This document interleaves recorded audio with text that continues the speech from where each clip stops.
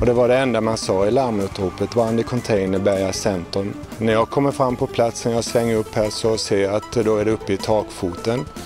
Lågorna slår igenom eh, även upp igenom taket här då.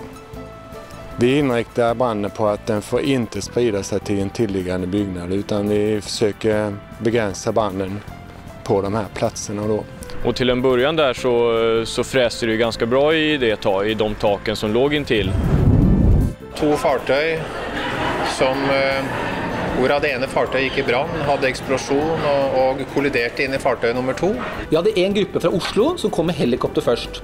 Så hadde vi eh, ca. en halvtime etterpå, så kommer et ritslag fra Larvik med båt. Øvelsen som sådan gikk eh, veldig bra. Veldig bra. Det var veldig god trening for veldig mange. Exempel på ökad kolfiberanvändning är vingbladen till våra vindkraftverk, vissa typer av bilar och sportartiklar som bandyklubbor och cyklar. När det har varit brand i flygplan och brand i komposit så har vi alltid skyddsklass 3 eller skyddsklass 4. När den väl kommer upp i väldigt höga temperaturer, som när det brinner, 700-800 grader däromkring. Och då har vi naturligtvis den här risken då.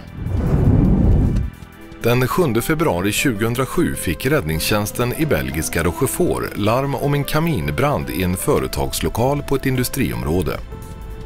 Brandmännen i Rochefort åker varje år på hundratals liknande bränder i kaminer och vedpannor. Den här branden var ett rent rutinuppdrag.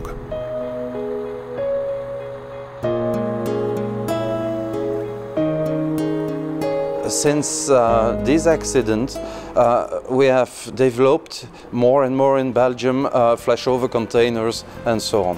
We are equipping uh, every year uh, more uh, with these systems. Skolor av trä, polishus i trä och hela bostadskomplex byggs i trä. Byggnaden är ju antändbar och har en inneboende energi. Det finns ingenting egentligen i byggreglerna som styr materialvalen i konstruktionerna och sådär så länge att de uppfyller de krav på, på brandtekniska klasser och bärförmåga och så som finns.